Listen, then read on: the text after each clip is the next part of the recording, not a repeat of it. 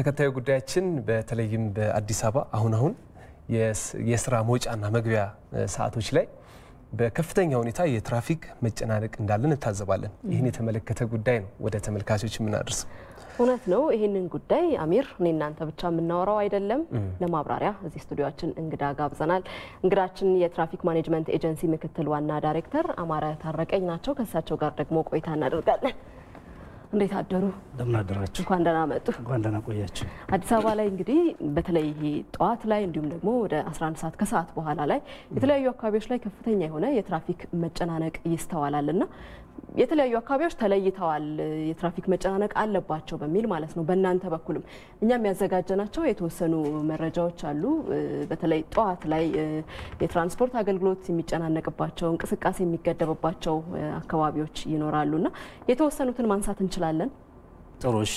እንደሚታወቀው እንግዲህ በከተማችን ውስጥ ከፍተኛ የሆነ የትራፊክ መጨናነቅ አለ። ትራፊክ እንቅስቃሴ ባለበት ቦታ ሁሉ የትራፊክ መጨናነቅ ይኖራል።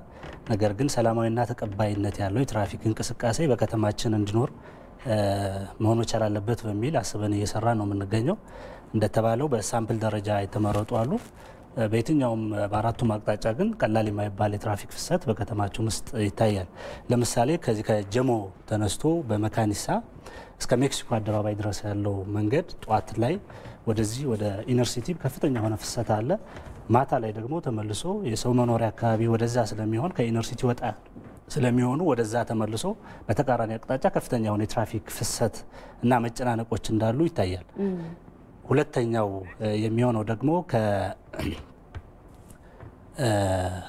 መገናኛ ተነስቶ በጉርድ ሾላ አድርጎ እስከ አያት ሲኤምሲ አካባቢ ያሉ ቦታዎች ላይ እንደዚሁ ከጧት ጧት በተመሳሳይ ከአያት ሲኤምሲ እስከ መገናኛ ድረስ የሚመጡ መንገዶች ከፍተኛ የሆነ መጨናነቅ ይታይባቸዋል። በተቃራኒው ማታ ላይ ደግሞ ከ10 ሰዓት በኋላ ከመገናኛ እስከ በሾላ ጉርድ ሾላ እስከ በቅድስተ በላምበረት መስመር እስከ ኮተቤ የካባዶ መስመር ያሉ መስመሮችም ከፍተኛ የሆነ መጨናነቅ የሚታይባቸው መስመሮች ናቸው ማለት ነው። ሶስተኛው በተመሳሳይ መልኩ ከቃሊቲ ተነስቶ ከሳሪስ አቦ ቤተ ክርስቲያን አካባቢ እስከ መገናኛ ድረስ ያሉ መንገዶች ላይ ከፍተኛ የሆነ የትራፊክ መጨናነቅ የሚስተዋልባቸው ቦታዎች ናቸው ማለት ነው። እውነት ነው። በእናንተ ተቋም በኩልም ከዚህም በባሰ መልኩ መጨናነቅ አለባቸው ተብለው የተለዩ አካባቢዎች አሉ። እነሱንም እናንሳ። አዎ፣ በተመሳሳይ ከፒያሳ አስኮ መድኃኔዓለም መስመር ያለውም ከፍተኛ የሆነ መጨናነቅ የሚታይበት ቦታ ነው። አየር ጤና ከአየር ጤና በተመሳሳይ ወደ ሶስት ቁጥር ማዞሪያ ጦር ኃይሎች አካባቢ ድረስ ያለውን መስመር ተመሳሳይ የሆነ መጨናነቅ የሚታይበት ቦታዎች ናቸው ማለት ነው።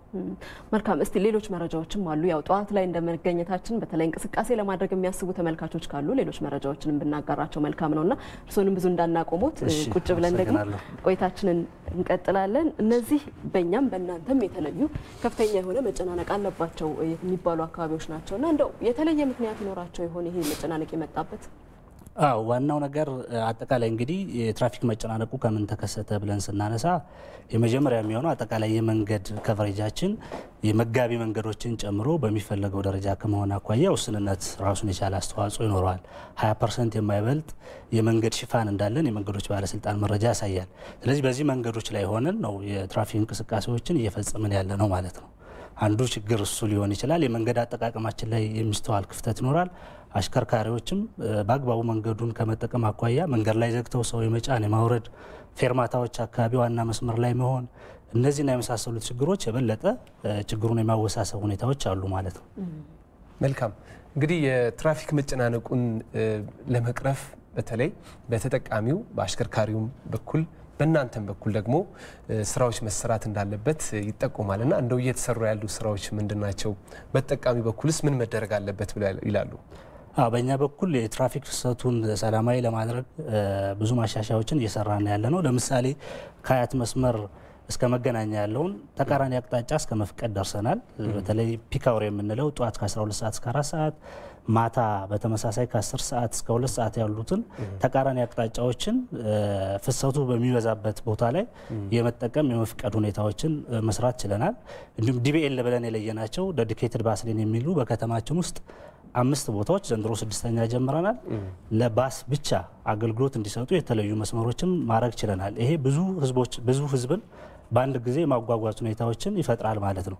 ይህም ውጤቱ በጣም ቆንጆ ሆኖ አግኝተነዋል። የከተማ አውቶቡስ አገልግሎት ድርጅት ምልልሱ ብዙ ሆኗል። በቀን ውስጥ በፊት ከነበረው ምልልስ ከአምስት ጊዜ ከስድስት ጊዜ በላይ ተጨማሪ ምልልስ እንዲያገኝ እድል ሰጥቷል ማለት ነው። parking ስርዓቱንም በ time based በማድረግ በሰዓት በመገደብ ፈጽሞ በመከልከል እንደዚህ አይነት ስራዎችን ለመስራት ሙከራ አድርገናል። በተመሳሳይ intersection modification የምንለው የመጋጠሚያ ቦታዎችን በጣም signalize በማድረግና መብራት በመጠቀም የትራፊክ መብራት በመጠቀም ፍሰቱ ሰላማዊ እንዲሆን በተጨማሪም አደጋ ሊቀንስ በሚችል መልኩ እየሰራን እንገኛለን ማለት ነው። እነዚህና የመሳሰሉትን ማሻሻያዎች እየሰራን ያለ ነው።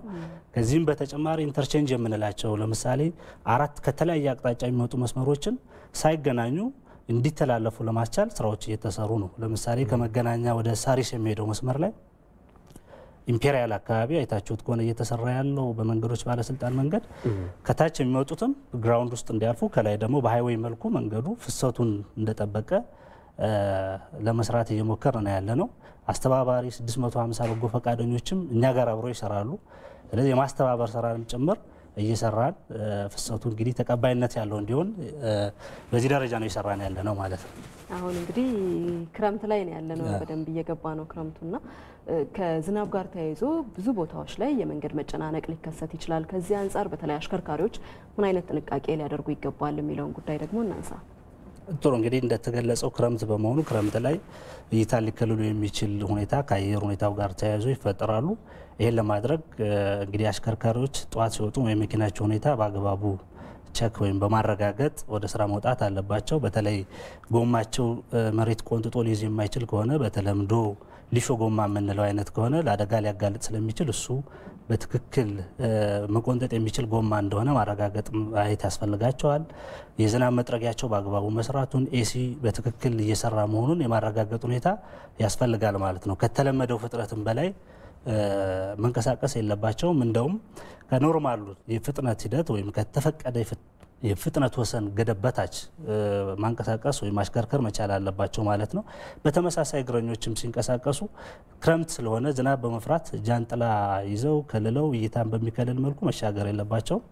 እግረኛ መንገድም ላይ የሚደረጉ አላስፈላጊ ሰዓት የማባከን ጊዜ መግደል፣ zebra ዎችንም ስንጠቀም በአግባቡ ፈጠን ብሎ ያለመጠቀም ሁኔታ ሀሳብን earphone ጆሮ ላይ ሰክቶ የመኪና ክላክስ መስማት በማይቻልበት ደረጃ ሀሳብ ተበትኖ የሚሻገሩ እግረኞችም ስላሉ እነሱም አደጋ በተለይ በከፍተኛ ሁኔታ እግረኞች ላይ ስለሆነ እየደረሰ ያለው ጥንቃቄ ማድረግ አለባቸው።